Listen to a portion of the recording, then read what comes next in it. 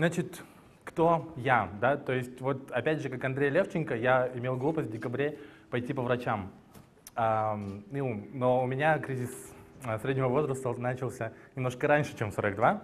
Мне 31, а, но вот врачи, увидев меня, тоже качали головой и говорили, что надо убирать живот и вообще э, есть меньше сахара и все, и все, что говорил Андрей Левченко.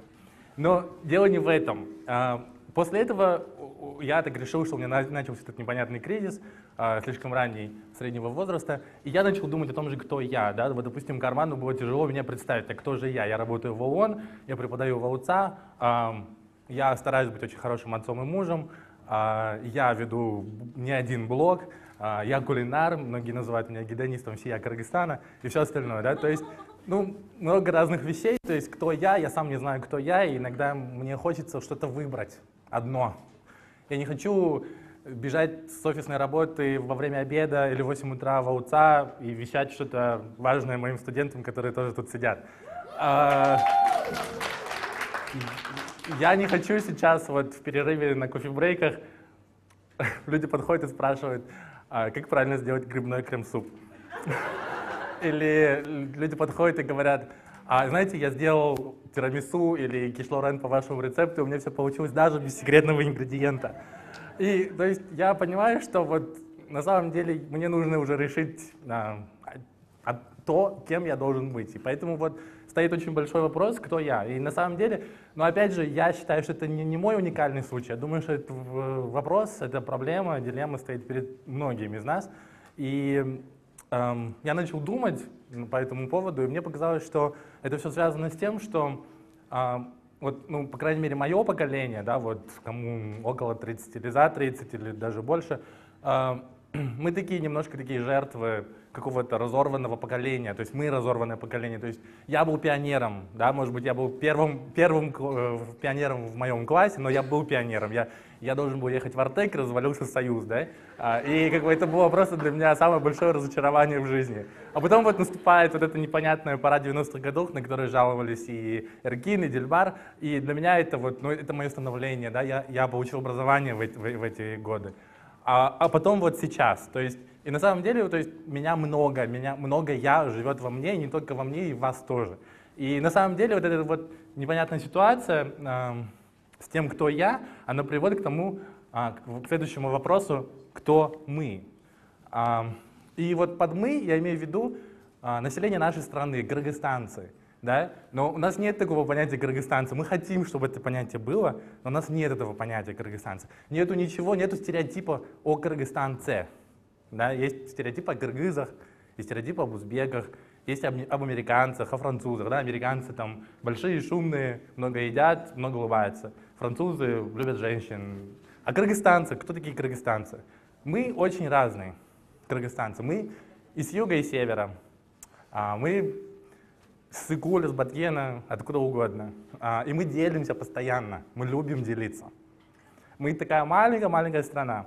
У нас всего 5 с хвостом миллионов, да? И мы любим делиться. Мы любим делиться на кланы, мы любим делиться на регионы, мы любим делиться на север-юг, мы любим делиться на субкультуры, мы любим де- делиться на кыргызов и киргизов, мы любим делиться на мырков и немырков, да? То есть это все такие вот может, табуированы немножко темы, но я, я считаю, что о них нужно говорить. И, может быть, это банально, и мы, как Карман любит говорить, но мы любим, ну как, мы, мы все это знаем, мы все это переживаем в себе, но мы никогда об этом не говорим.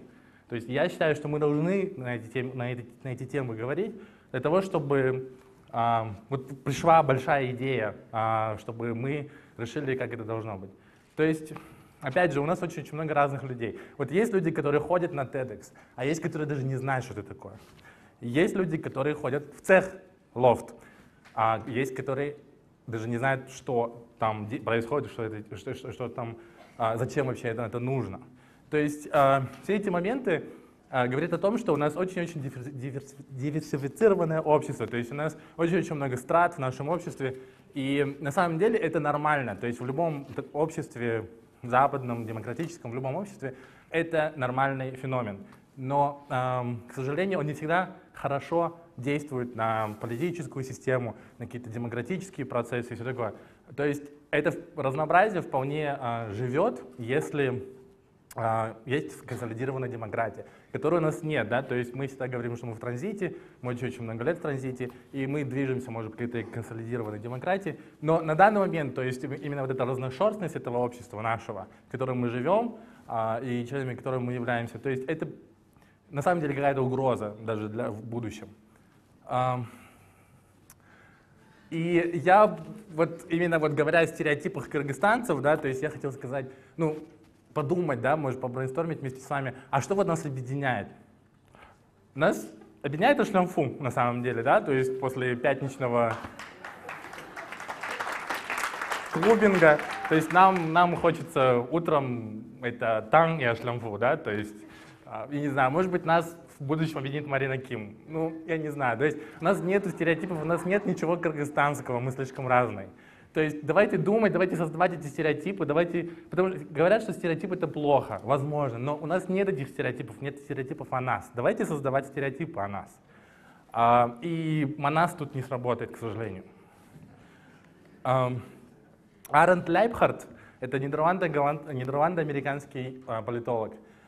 А, когда я писал свою кандидатскую диссертацию, то есть вот Лейпхарт для меня был всем, да, то есть его книги были для меня Библией, он был для меня там каким-то верховным божеством. И когда я имел наглость ему написать имейл, он мне ответил. И вот он мне ответил, и для меня вот это было, вот для меня снизошло там какое-то вдохновение божественное. И, и мы с ним стали переписываться, он мне стал помогать писать мою работу. То есть это вот на самом деле, э, это пример да, для очень многих а, таких звезд, исследователей или ученых, что надо быть ближе вот, к народу. И почему вот Лейпхарт вот для меня не просто а, как бы вот персонально, да, он мне помог, но в том, что а, Лейпхарт является автором а, концепции так называемого разделенного общества, divided society. И опять же, это достаточно табуированная тема, то есть говорить, э, особенно после конфликта июньского в нашей стране, о разделенном обществе в целом. Но я считаю, что мы должны на эту тему говорить, потому что когда мы говорим, возникает много мыслей, возникает много слов, и возникает какая-то идея, а, и мы должны будем эту идею как-то использовать в будущем. И вот э, в чем, разделя... в чем смысл э, концепции разделенного общества? В том, что существуют а, какие-то страны, где общество делится на какие-то на какие-то отдельные сегменты. То есть его еще будем назвать сегментированное общество. Эти сегменты, они всегда носят какой-то определенный характер. То есть это может быть этнический характер, это может быть идеологический, а может быть конфессиональный или что-то еще. Так вот, классическим примером а, divided society, разделенного общества, являются Нидерланды. То есть не сегодняшние Нидерланды, а исторические, с 30-х по 50-е годы 20 века. Так называемая система Versöhlung.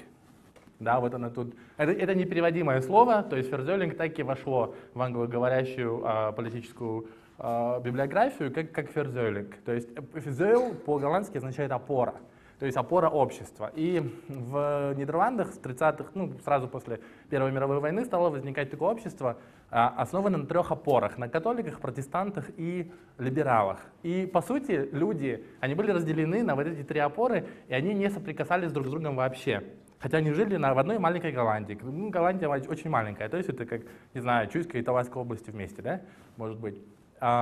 И что это значит? То есть католики ходили э, в католическую школу, то есть прежде всего они женились друг на друге, да, только на католиках. Потом они ходили в католическую школу, потом они поступали в католический университет. Они слушали католическое радио, читали католические газеты, смотрели католическое телевидение. То есть, по сути, они нигде не соприкасались. Единственное место, где они соприкасались, ну, может быть, в булочной где-то, да, но при этом они не решали какие-то общие проблемы. Они просто покупали круассаны. А они соприкасались на национальном уровне. То есть, когда вот эти лидеры возникали в этих трех опорах, им приходилось решать судьбы Голландии вместе. То есть, на этом основывается консенсусная политика, или так называемый конституционализм. Мои студенты знают это слово. Так вот, этот ферзелинг на самом деле, он был необходим а, для того, чтобы общество выжило на тот момент. Но в 50-е годы а Ферзелинг стал обузой для голландского общества, и необходимы, необходимы были какие-то толчки да, для того, чтобы эм, для того, чтобы избавиться от Ферзелинга, для того, чтобы запустить так называемый Онтзелинг, тот, который антиферзелинг. Вот. И этот онзелинг тоже было очень трудно запустить, потому что это не может быть искусственным процессом. Это всегда должно быть натурально, это должно происходить просто так, потому что так, так надо. То есть его никто, никакой там политик не скажет, сегодня начинаем от зелинг, все. Такого не может быть. То есть или сегодня начинаем ферзелинг, или заканчиваем ферзелинг. Нет. И как это вышло? Вы знаете, что в Голландии правит королевская семья, да? там есть королева Беатрикс, а, но в тот момент была, королева была всего лишь принцессой. Ну, правда, наследницей, но тем не менее. Так у нее есть сестра. И эта сестра, она такая, как и многие жители Голландии, такая немножко сумасбродная, она, она решила влюбиться в испанца. Ну, испанцы 99% католики, да, и а, она решила за него выйти замуж. Ну, испанец, он тоже не из простой семьи, он там тоже принц какой-то, но он испанец и католик. И что это был абсолютный кризис в стране, что принцесса, сестра наследной принцессы, решила выйти замуж за католика. То есть вот эта опора, система опор, ферзелик, она стала рушиться, потому что, по сути, королевская семья, они, это протестантская семья. И э, что произошло? То есть Сменилось неимоверное количество правительств, был безумный политический кризис, а, парламент принимал решение о том, чтобы а, лишить всех регалий принцессу несчастную, а, Маргарита ее зовут, и, значит, они приняли решение, что они лишают ее титула, они лишают ее права наследования трона и все остальное. И таким образом она становится просто обычной голландкой, ну, правда, сестрой королевы, но при, при этом она получает вот это право выйти замуж за того, кого она хочет.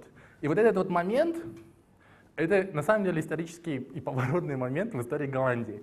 То есть, когда вот есть такая э, система, скажем, разделенного общества, то всегда э, есть потенциал конфликта. И, к сожалению, в нашей стране такой конфликт произошел в июне 2010 года. И именно поэтому э, очень важно понимать и очень важно прежде всего принять, что мы живем в разделенном обществе. То есть, возможно, мы это принимаем как-то неофициально, да, что вот мы просто мы живем, да, то есть есть там есть икульские, баткельские, есть узбеки, киргизы, да, но, но мы должны принять это как-то вот более-менее официально, то есть наше общее сознание кыргызстанцев должно это понять. И тогда нам будет легче реформировать страну, нам будет легче предупреждать конфликты, и нам, потому что мы будем понимать, что это есть, мы не должны отказываться, что этого нет.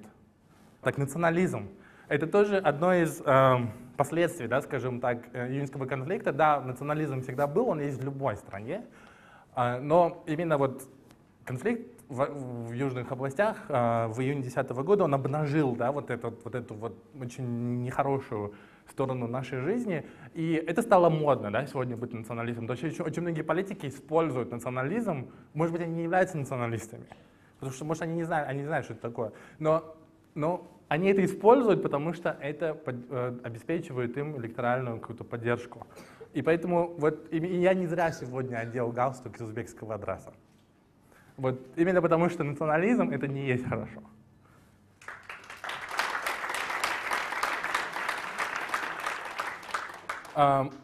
И говоря обо всем этом, я хочу прийти к вопросу идентичности. То есть я начал с того, что я задал вопрос, кто я, потому что я не знаю, кто я, я не знаю, какая моя идентичность. Потому что я много всего, у меня много идентичностей. Я вот сын отца южанина и матери северянки, я э, киргиз, а, хотя я учился в кыргызской школе. А, я вот, ну не знаю, выпускник московского вуза. Может быть, меня это относит в одну категорию с Дельбар. Мне бы хотелось, я еще потанцую, чтобы быть в одной категории с Дельбар. А, мы, мы, я не знаю, но вот я, мне претит национализм, у меня очень интернациональная семья. А, ну, я люблю ашлямфу, да, я умею готовить кишлорен. Ну, как бы вот эти все вещи, то есть вот эти идентичность, это очень-очень важная вещь. То есть и очень важно, чтобы мы знали, кто мы такие, для того, чтобы вообще что-то делать. Потому что в 19 веке, да, русские философы задавались вопросом, что делать.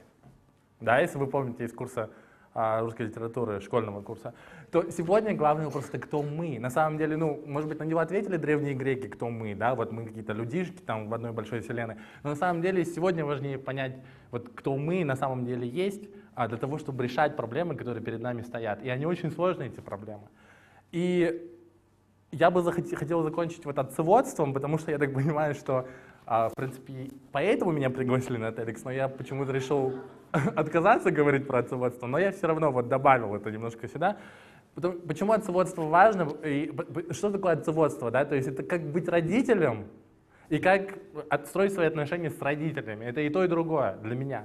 И э, идентичность, почему и отцоводство тут важно? Потому что процесс социализации начинается в семье. А если в семье э, как-то вот все не гладко, тогда этот, вот эта идентичность, она таки будет как-то неправильно расти. И поэтому очень важно э, уметь говорить «я тебя люблю» своим детям и своим родителям. Я знаю, что э, в нашем очень традиционном обществе кыргызы, особенно э, парни, да, то есть или мужчины, э, для них очень тяжело сказать «я тебя люблю папе». Да? Ну, наверняка. Но, но ведь ваш отец, ваши отцы, они же заслуживают, а, чтобы услышать от вас «я тебя люблю». Я потерял своего отца в прошлом году, но я успел ему сказать «я тебя люблю». И это очень важно, потому что